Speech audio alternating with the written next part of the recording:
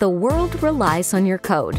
With more channels and opportunities to connect, the digital experience is the primary brand experience for your customers.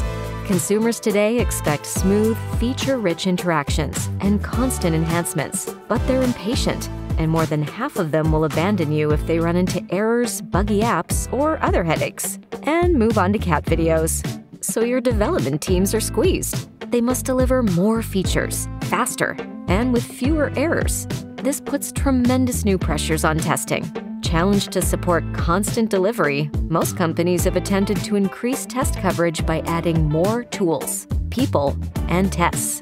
But that approach only increases costs and complexity and slows release cycles to a crawl.